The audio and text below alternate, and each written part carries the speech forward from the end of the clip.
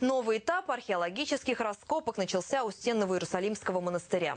Несколько лет специалисты тщетно искали личные палаты основателя монастыря патриарха Никона. И, наконец, нашли. Подробнее расскажет Кристина Одиноченко. На территории монастыря, построенного в середине 17 столетия, раскопки начались вместе с ремонтом и ведутся уже несколько лет. За это время археологи обнаружили множество уникальных артефактов, включая предметы монастырского быта, монеты царей династии Романовых, глиняные изразцы первоначального убранства собора. Два года ушло на поиски личных палат основателя монастыря, патриарха Никона. Этим летом археологи заговорили, возможно, их нашли.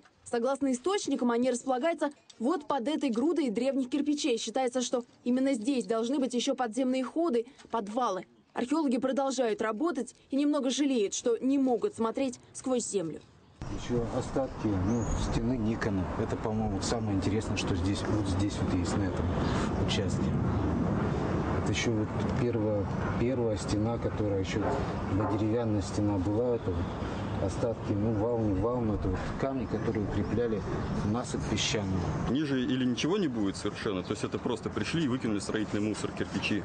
Или будет слой, ну, где будут уже какие-то остатки фундаментов, перекрытия там, или по источникам здесь должны быть а, никоновские палаты, в которых были каменные подвалы. Григорий и Герман вместе приехали на раскопки в Истру. До этого не виделись много лет. Один в прошлом учитель истории, второй его ученик. Оба, как говорят, больны археологией. И считают эти раскопки не тяжелым трудом, а подмосковным отдыхом для души. В разведке ходили, ну, то бишь, по...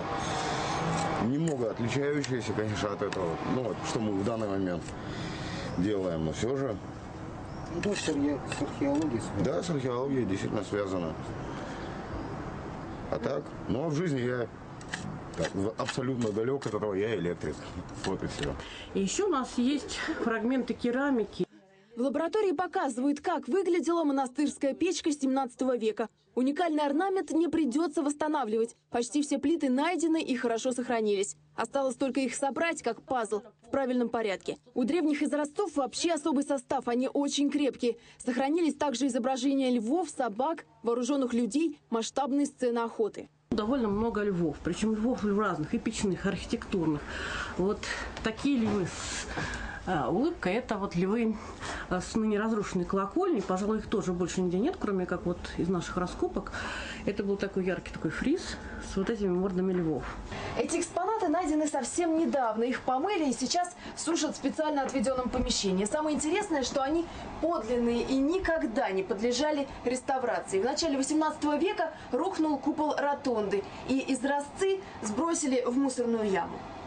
Мусорные ямы, естественно, в переносном смысле, это вообще кладезь артефактов, считают специалисты. В древности туда, не задумываясь, сбрасывали килограммы едва поврежденных керамических изделий, элементы убранства. А сегодня эти находки позволят составить более ясное представление об истории монастыря.